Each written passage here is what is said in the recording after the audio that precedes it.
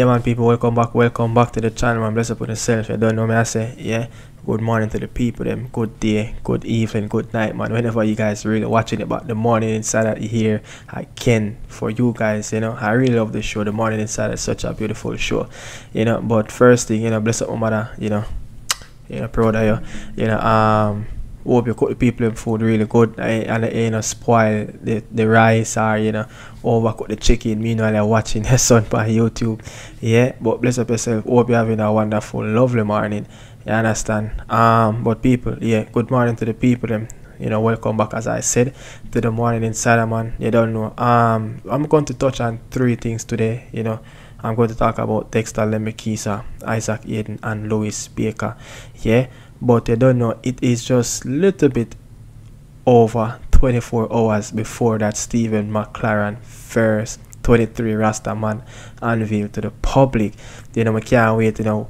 Will there be a, a, a surprise player on that roster that will never yet play for the Reggae Boy? Or will we see back someone on the roster that we never see for a long time? You know, I'm just waiting for it and I think there will be surprising players on it as I think. Just look around the, the, the spectrum of what is really going on with the players and you know I think some big faces won't be there and I think we will have that one surprise and you'll be like huh? Is he back in the squad or is he get left out of the squad? Like you know there's always that little um, that little jinx you will call it. You don't know um, whenever a, a squad name for the reggae boys always that little change it's always that little soap opera always that player you know easy or him should have never did it or that player should have did it. You don't know. But I mean look it is a it this going to mark the the Steve McClaren era, this new era, you know, and it is a start a business, you know, it is a gamble a gamble that I'm willing to take if a manager don't want to be at the helm of the reggae boys. You know, bring in somebody that who is going to be happy around the players and someone that who is going to be driven, you know, his commitment and his passion towards the players eh, and you know, try to make the program go a little bit further than where it was, you know, previously under different managers, yeah. But I mean, we didn't forgive the manager a chance. I have said it. I'm going to back the manager to coach our national team. I trust him. You understand? But I mean, hopefully we can see some changes moving forward. They don't know a lot of people out there want to see a direction of how the football should play. You know, we want to see not just pretty football, but we want to see something that I can get the best out of the players. As you know, when play people talk about the reggae boy team, it's pure ability, pure talent, pure potential in this team, established Premier League players. You understand what I mean? I say so. People just want to see the growth and people want to see the development and people want to see how the team can actually unlock the potential that they're supposed to be doing over the years. You understand? So hope you know Stevie really can bring in the new gems unlock that new features, unlock that new levels, you know, in the rest of the players and you know push the team further, you know, up in the um the FIFA rankings. We want to rank back in the top 50. You know, I think one time we used to rank like around 45 at top of Bratos there. You understand? But yeah, they don't know. Um Steve McClaren first fixtures will be in September, and I love to see what the JFF is doing. Party, party, party. As you know, Jamaican people love party. I hope that little thing that they advertising about you know after a party. I hope it work. I hope it work. You know, but again, Steve McClaren, big up yourself. You know, willing to back the gaffer. Yeah, willing to back the gaffer. Any any gaffer coming, I might not like the decision. I might not like the um the appointment, but you don't know I'm willing for back him. He's a man that going to bring us to the next World Cup. But yeah, alright, let's don't talk any further and you know go into the video look I have done a video yesterday about I'm concerned about some of the players um, that really not getting enough game time. You know, people that who fall out of favor, you know, in the squad, you know, who get kicked out of the senior team, who is not playing any game in the first team, you know, always sitting on the bench. You know, uh, it's it's we, we have a few players. Let's be realistically, we have a few players that really not getting much game time. People that you know trying to find clubs, but Dexter Lembikisa, you know, this is a pure natural talent. You know, I think us as a Reggae Boys fans, we have seen the best of Dexter Lembikisa in March when he played that Nations League semi-final and they run. I think did he play in? I think I don't remember if he played in the. Um, I think he played in the third and fourth game. Yeah, I think he played in the third and fourth game against Panama. Yeah, but I think we have seen that's the best of him we have seen since he made his perfect. He's made his international debut for the Reggae Boys. And look, let's go back a little bit. Rewind the tape. Go back to in the summer of 2023 or ah, you say yeah in the summer of 2023 you know look he have played you know his his, his first full season as an academy product in in the under 18 under 21 and, and he played loads of game the end of the season in the 2023 summer and then you know that that year yeah i think the 2023 2024 season yeah he have gotten that loan deal to Rotherham, you know, a team that um, relegation fight team, you know, down there in the championship. And look, he have signed up with them with a season long loan with a with he, he had a clause in his contract that he can be recalled um at the start of the new year which will which will mark the start of the transfer window. And they trigger you know Wolves trigger that deal. And guess what they recall him because a bigger team was on the agenda but before we go to that bigger team which was Hearts at the time stick up in right there. So the the, the, the pathway manager, you know, um I think his name is his name is Steve Davis, yeah, Wolves pathway manager. And Matt Hobbs, the director of the academy. They assess, you know, um Dexter Lemekis and they saw the growth that he and, and the progress that he's made throughout that season playing in the under 21 and the under 18 for the academy at the time. And they was like okay you know i think this player is really ready to go out there and experience loan football. So what they did is they shipped him to a team that will always be defending will always be on the back foot in the game because they they want to you know get the best out of him. They want to um let him be in a team where he's going to be defending 1v1 all the time. You know develop that side of game of him. And he have played really well you know that alpha that alpha season that he spent you know um between i think it was august and january. Yeah he got called back on january 10 of 2024 that spell he have made 27 appearances. Yeah, he have made 27 appearances in all competition. I think he played in 25 championship games and starting 22 of them. He only missed one game and he scored a goal. I think he scored a very good goal at Norwich City as well. And then a few days after, they shipped him out to the Premiership up north the border to Hearts at the time. You know, but but before I before I go to that, when he left Rotherham, they were seven points above safety, so they were fighting for their life. But they want him to develop that side of his game 1v1, defending against wingers all the time. And he could see that he gained a lot of strength, he gained a lot of progress in that department. And they're like, okay, since this transfer loan deal was the radar to a bigger team, a team that is fighting for European spot, they recall him because they have a clause in his contract they can recall him. And they recall him a few days after they shipped him out to Hearts at Steven Naismith team. And they were third at the time yeah third at the time. They finished third in the season. You know they were playing you know in European football at the time. And guess what? The reason for Dexter Lembikisa to go to Hearts team. They're looking at his transition. They're looking at how they can develop this player. As he's one of those academy player that you know he signed a contract a three and a half year deal. You know um in in January yeah January 27th of 2023. So he has two more years left back on his contract. His contract will end in the summer of 2026. Yeah, and guess what? Look at this now. So sending him to Hearts, they want to develop his final third game. You know that is attacking part of his game. You know, trying to get an end product, trying to get goals and assists. Yeah, in that in that department, and we have seen Dexter Lembikisa a new player after the Gold Cup. Yeah, you could see that when I was watching him, you know, during the Nations League group stage, you could see that look, this player have changed. Yeah, he have changed drastically. Is the, the, the progress and and and his growth, it have grow really fast over time. And when international football break in November, he have like December, January, February, March. So the January, February, March, he was playing loads of football for Hearts in the Premiership in Scotland, in the SPL, the Scottish Premier League. And Hearts is a team that they will always have majority of the ball in the Scottish Premier League. So he will play in that three at the back for the Reggae Boys and also he was playing three at the back under Steven Naismith team at Hearts.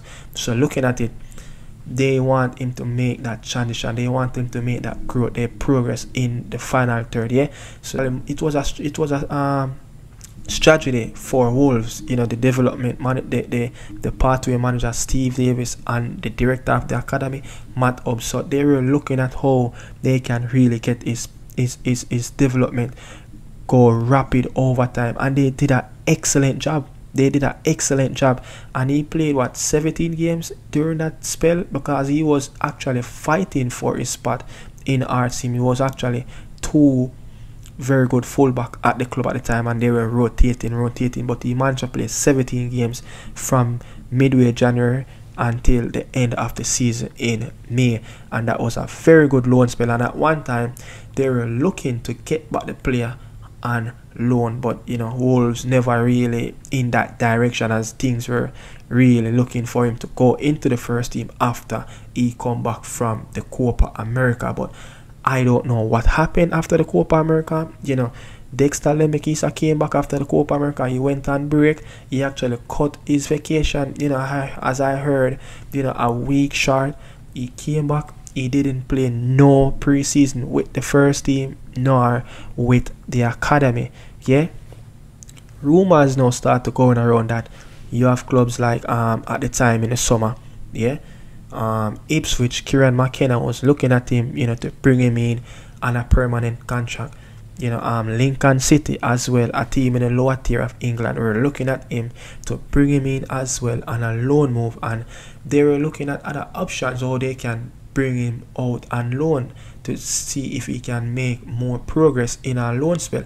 You know, I think um, over have moved on to loan, but the eye opening was that signing that Brazilian kid. His name is Pedro Lima.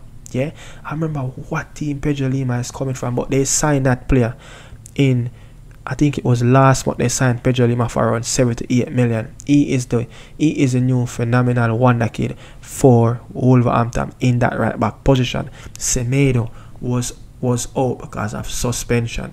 Semedo played Semedo and Dexter Lembikisa played in the academy football um, game I think a couple days ago. You understand? But I'm looking at it how they managed to reach this direction of Dexter Lembikisa, like a player that was moving towards the be that man to be in that right back position. Is it that Gary O'Neill doesn't fancy the player anymore, or what? I don't know. But listen, this was what you know Wolves pathway manager Steve Davis has said about the kid. You know during his time, I think they when they recall him back from from um, Rotherham in that half a season, his defending has improved yeah? The amount he has had you know to do but you know this is what they have to say when he's going to Hearts in the in in the um in the winter period. He said his defending has improved with the amount he has had to do but we just like to see an all-round performances no an all-round game on consistent basis. Hopefully he can do that at, hopefully he can do that at Hearts as well. So you could see that they're looking at them trying to progress him into a more all-rounded um, right back. This is why they shipped him out to Hearts, a team that will have most of the ball. Majority of, majority of the game is going to be controlled by them in the SPL Premiership. Yeah, so you could see that why what I'm talking about. It's right there. Yeah, but he have also I think he have also said you know um that his toughest defender his toughest opponent that he have he have um, come up against was um, I think it was Alphonso Davies. He said he, he, that was his toughest opposition he came up against at the national level. I think I have. I, I also have a clip for you guys. You know, listen to what Dexter, De, Dexter Lembikisa have to say in this team. Well, you know, you also scored that night and took us for your goal.